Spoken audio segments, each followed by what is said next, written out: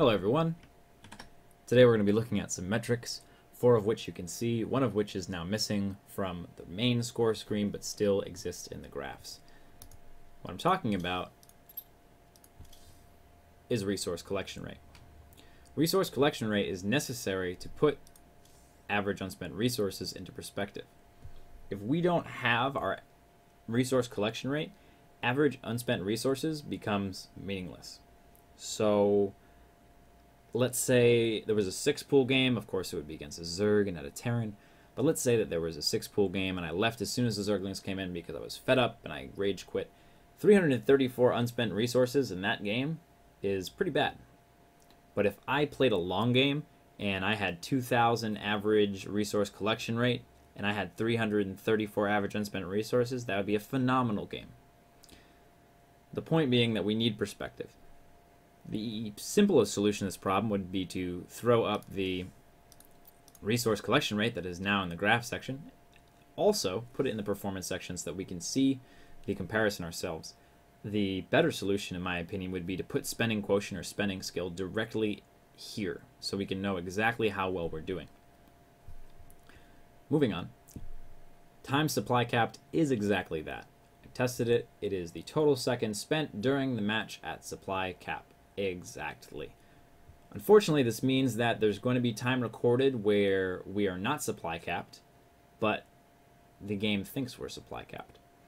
Example would be if we had a gateway and a nexus for production, we were building a probe and we were building a zealot, we had a pylon on the way. We timed it out so that our pylon finished before, slightly before, or at the same time that the probe and zealot finished.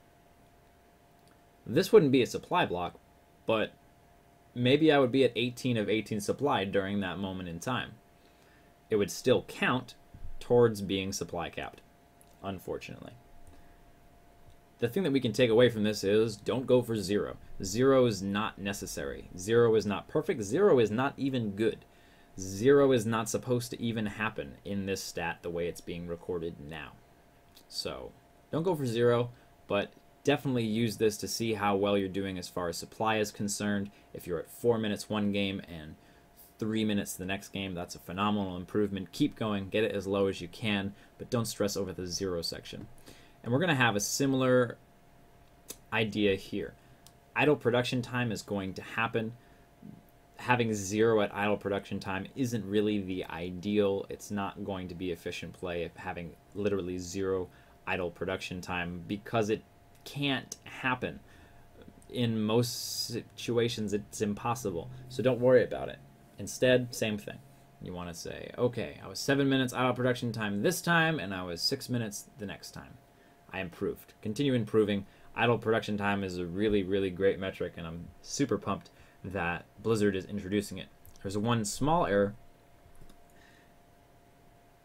Total seconds buildings or larvae spent idle. So, that means hatcheries. And that means whenever I'm not building a queen, the hatchery is considered idle. This skews the data and makes it really difficult to use idle production time on the score screen as a meaningful metric for Zerg players. What I suggest is instead of measuring how often a queen is or is not being produced, if we could measure how often or how many seconds in the game a hatchery is producing or not producing a larva. For those of you who are unfamiliar, if a hatchery has three or more larvae, it does not produce any more by itself. But if it has less than three larvae over time, I believe it's 15 seconds, it produces larvae. So that would be something that would be useful to know for idle production time on a hatchery, not a queen. So if we could switch that up, uh, use production of larvae out of a hatchery instead of production of queens out of a hatchery, that would make it useful for Zergs. As of right now, it's really useful for Protoss and Terran. It works for Warpins, it works for all of the production, and uh, it's going to be a great metric for everyone that's not a Zerg to use. APM is still APM in Heart of the Swarm. It's buggy as hell. A couple of games I had 356. This game I had 93. That's more my usual APM. So don't stress about it. I'm sure Blizzard's on top of it.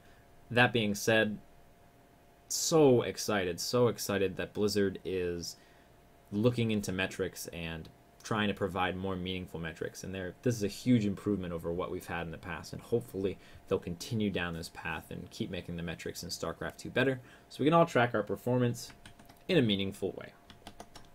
Hope you learned something. Uh, hope you had a good time. And uh, I hope I'll see you again soon.